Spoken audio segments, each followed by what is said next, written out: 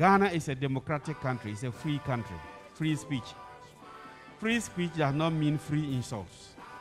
Free speech does not mean hate speech. So when we say free speech, let's talk freely and bring about development of this country. Let's talk freely and bring about the unity of this country. Whether members of parliament, uh, communication people, they call it serial callers, etc., and the clergy who have access to free speech.